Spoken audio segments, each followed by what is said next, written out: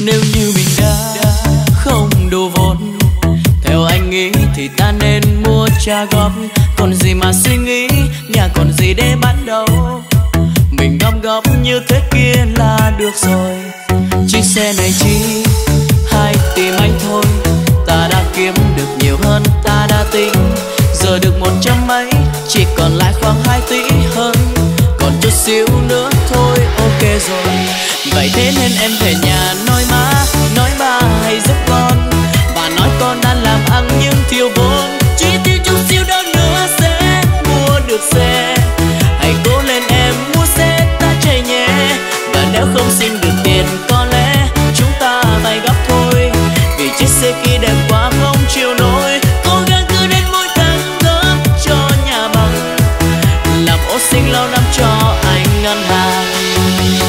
Nếu chưa đủ tiền mua xe thì mình trả góp. Vốn liếng chỉ có hơn trăm triệu thôi. Cố vay cố mượn đi em ơi. Kinh tế dạo này đang khó lắm. Kiếm tiền đâu dễ như đi chơi. Xe đẹp để lau lỗi thời mất Mua xe về anh chở đi thôi.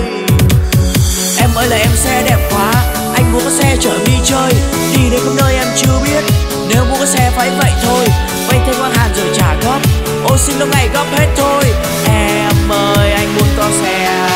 Chiếc xe này chi mãi tìm anh thôi. Ta đã kiếm được nhiều hơn, ta đã tính. Giờ được một trăm mấy, chỉ còn lại khoảng hai tỷ hơn. Còn chút xíu nữa thôi, ok rồi rồi rồi rồi rồi rồi rồi.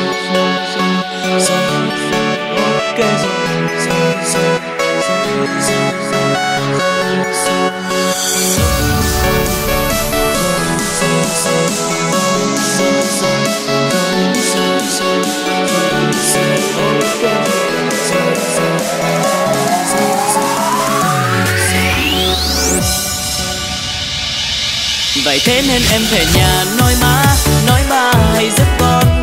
Và nói con đang làm ăn nhưng thiếu vốn Chỉ tiêu chút xíu đâu nữa sẽ mua được xe. Hãy cố lên em mua xe ta chạy nhé Và nếu không xin được tiền có lẽ chúng ta phải góp thôi. Vì chiếc xe kia đẹp quá